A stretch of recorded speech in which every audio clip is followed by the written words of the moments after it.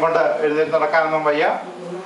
എന്തായാലും അമ്മയുടെ സാന്നിധ്യമാണ് ഞങ്ങളെ ഒക്കെ വിദേശത്തു നിന്നും കൂടെ കൂടെ ഇവിടെ വരാൻ പ്രേരിപ്പിക്കുന്ന പ്രധാനമായ ഘടകം.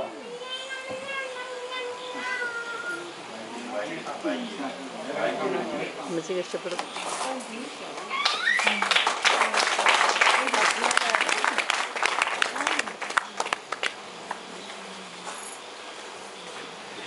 അടുത്തത്